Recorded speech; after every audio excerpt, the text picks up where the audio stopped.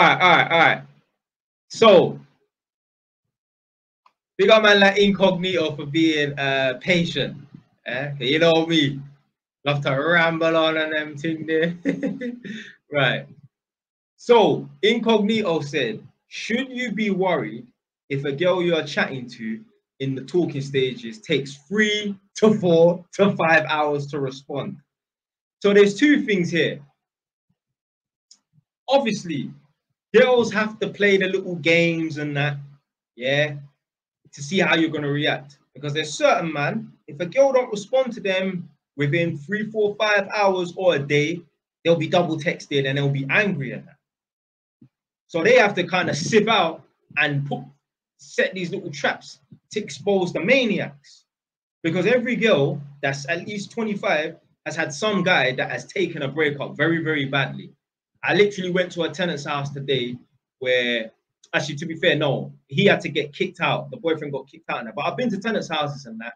I went to a woman's house the other day, and basically, the woman had to change her number. So when I phoned her, it didn't work. The reason why she had to change the number is because the ex-boyfriend was, was harassing her.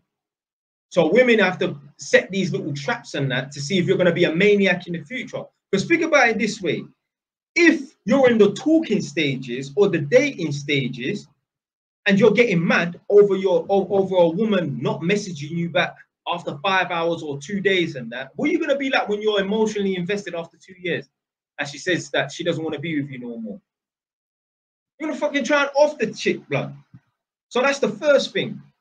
So it could just be that a girl's just testing to see you know how level-headed you are and that whatever in it but for two, if you're worried enough about a girl texting you, taking three to four, five hours to message you back, you're in the wrong energy, my brother.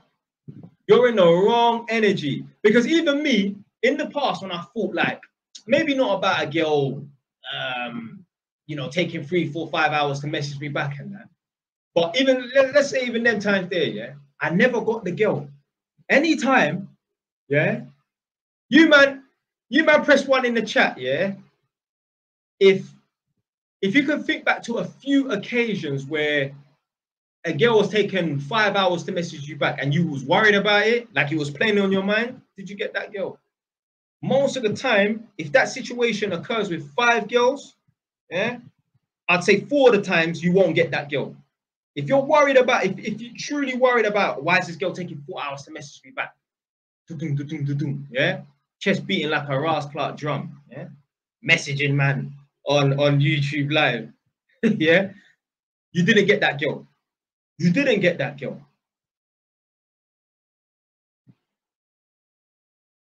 So um, C says she isn't interested or she's just busy. Yeah, I mean, she's probably just not not interested, man. She's not interested. Because the way the way the way I think about it is like all the girls I got, they were always easy. That doesn't mean they spread their legs on the first date or anything like that. What I'm saying is like if you're finding it hard to get a girl out on a date or even communicate with her, blood, fam, that girl is not interested. Girls love to run their mouth. Girls love to text. They love to constantly be in communication with people and that. So she don't want to talk or she's taking her time. It's probably because she's just not interested. Do you know what? The next time she messages you back, yeah, after three, four, five hours, don't even message her again. And if you're worried that, oh, I might not hear from her again, well, then you're already lost. You're already lost. So you're in the wrong energy. If you're worried about why isn't a girl not message you for five hours and that. You know what? Yeah, you just got to play the numbers game to the fullest. When you play the numbers game to the fullest, even if you're only chatting to one girl right now, you'd be so immune to it. It doesn't even matter. And it's only when you don't give a fuck, it's only when you're immune to it because you just don't give a shit. That's when the girls want you. It's funny that, ain't it? When you want the girls and when you're worried about them messaging you from when they're not messaging you and that, you don't get them. And when you don't give a shit, that's when they want